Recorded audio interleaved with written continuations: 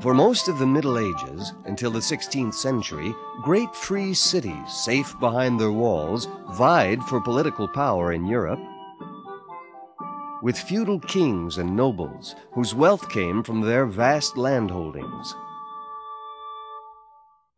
By the 16th and 17th centuries, however, improvements in artillery meant that walls could no longer ensure the safety of cities. At this time, a new and rising class of merchants allied themselves with the kings and nobles. With money supplied by the merchants, kings and nobles could hire large armies, equip them with the latest weapons, and extend their control over more and more territory. By the 18th century, the most powerful of Europe's kings had created national states in which capitalist enterprise was flourishing. The glittering royal courts were supported by new bureaucracies as well as by military might.